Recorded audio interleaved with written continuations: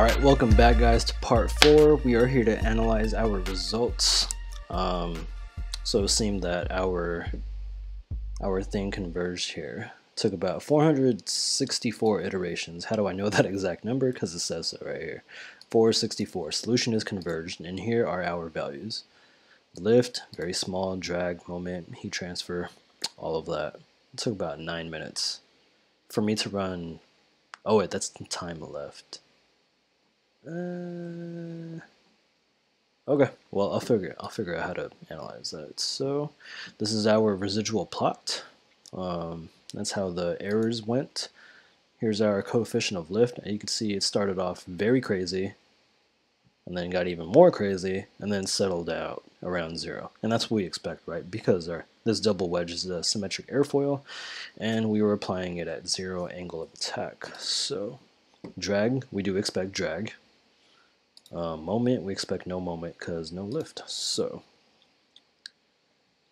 uh, total heat transfer rate, I do not know how to get this to work. So please, if you guys know how to do um, heat transfer stuff in Fluent, please let me know. Um, if not, I'm gonna, I'll definitely be doing research and look into it myself. Um, okay, so what people usually want to see are the pressure or the contours. So let me just pull up this uh, contour plot here. So contour, um, these won't be made automatically. I made these earlier, and this is actually my second attempt at this video. I made the first video without this headset, so the audio was horrible. Um, I'm going to deselect this, save and display, boom. Contour plots, or pressure contours. Ask yourself, does this make sense? Or Okay, we're not going to look at the pressure contour specifically. I'd much rather look at the velocity contour. I want you guys to know that you cannot see a slip line here, but you should be able to. So velocity, we're going to go with Mach number.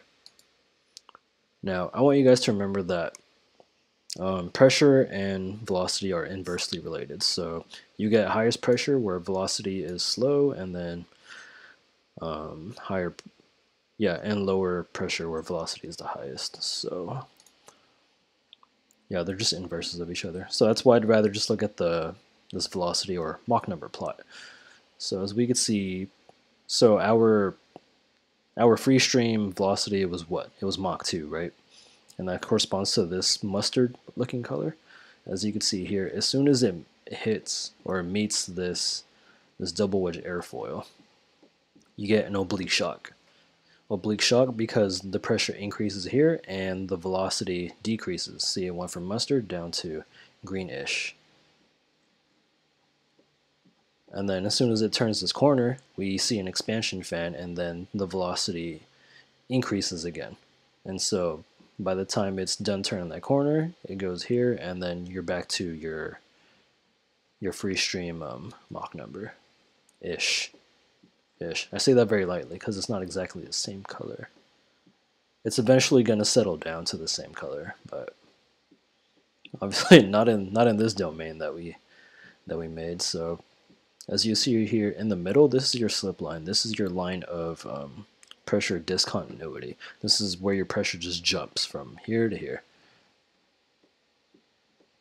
Also, so remember the whole reason we uh, made our mesh so fine it's because we wanted to see this boundary layer here. You can see no boundary layer here, but you could start to see it start to form about here-ish. If you see the blue, you can tell because it corresponds to a lower um, velocity, so that's what we expect. And so there's our there's there's our double wedge. Yeah. I wanna I really want to find a way to be able to just hit calculate and then automatically save all these plots, all this data. Um, if I ever figure that out, I will show you guys how to do that. Um, I did want to show you guys an alternative way to view your results. So you don't have to sit in Fluent all the time. You could also see things in um, in results here. So what I did was, okay, I'm just going to delete this, show you guys. So delete that. Um, where's the results? results right here. Hover over solution. not a standalone. You want results, so double click. We're gonna open that up. So also, I don't know how to create the the animations at this time, but I will in the future. Promise you that. And I keep my promises. So here, I'm just gonna double hit uh, symmetry one instead of mode. I'm gonna go to variable. So I guess we'll we'll do pressure for now. We'll apply. As you can see, yeah. so remember, we wanted to create our domain ceiling pretty high so that this shock doesn't bounce off the top and then interrupt the the flow in the wake. So, or behind the airfoil. So you have a color map here. You could change these to whatever colors you want. Look, they have options for zebra. Like, what the hell, dude? Zebra, you could change that to logarithmic. Logarithmic. You can go white to blue. There's even fluent rainbow. Oh my god, look at this crazy one. Transparency. Are you kidding me? Bruh. um, yeah, I like to use default rainbow. That looks the best to me. That's just my own opinion. Um, I haven't messed with symmetry 2 as much, but I think you'd get the same thing. Um, yeah. What else is interesting here? Density, right? Ooh, eddy viscosity, dude. I I am not that good yet at this. Inner wall temperature. No, pressure, we just saw that. Velocity, that's that. Yeah, you can mess with a whole bunch of different things here. This is called a CFD post. And that's what happens when you do um, this thing. You drag your solution to your results and then you see from there.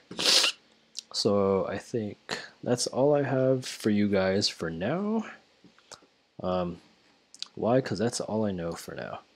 Um, yeah, like I said, I hope to learn a lot more things in the upcoming future for, for CFD.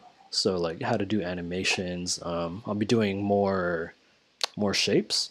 So instead of like double wedge, maybe like maybe like just a wedge, and then maybe um, go into 3D. So like conical flow and stuff like that. So and then eventually I'll make my way up to doing entire um, like aircraft and stuff and see what happens from there.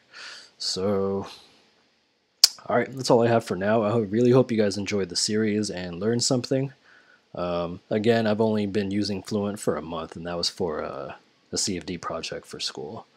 Um, yeah, please leave feedback, comment down below uh, what I can improve on or what you would like to see. You know, um, you could say my voice sucks. I already know my voice sucks. So um, I hate listening to myself.